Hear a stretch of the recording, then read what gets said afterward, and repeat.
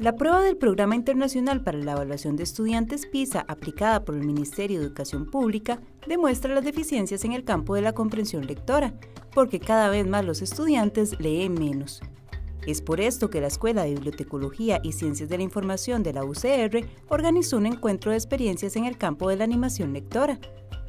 Los participantes de este encuentro son estudiantes de licenciatura en esta carrera cuyos trabajos finales de graduación se implementaron como proyectos para fomentar la lectura. Estos trabajos de animación a la lectura tratamos de que sean articulados por eh, especialistas en el campo, como por ejemplo eh, bibliotecólogos escolares o bibliotecas públicas, a través del TCU, por ejemplo, que también tenemos estudiantes en el TCU que han desarrollado una serie de actividades de promoción a la lectura. Uno de esos proyectos es el plan de lectura Viajemos Juntos a través de la lectura, desarrollado en la Escuela Silvestre Rojas Murillo cercana del recinto de Grecia de la UCR. Este plan realizó 150 talleres donde participaron padres de familia, estudiantes de quinto grado y docentes.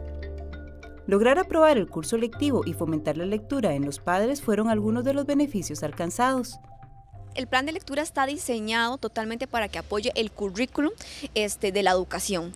Entonces, por ejemplo, vamos donde, el vamos donde el docente, el docente me dice, bueno, estamos viendo los volcanes, entonces buscamos una lectura que se adecue al área curricular, entonces vemos la lectura de Julio Verne. Entonces, a partir de la lectura de Julio Verne, Viaja al centro de la Tierra, vemos toda la parte de geografía, la parte de la flora, la fauna, los volcanes. Entonces, es de evidenciar que el trabajo de la biblioteca directamente puede trabajar con el currículum las experiencias compartidas en este encuentro permitirán a los profesionales en bibliotecología retroalimentarse y mejorar los proyectos de animación lectora que desarrollan en las escuelas y bibliotecas.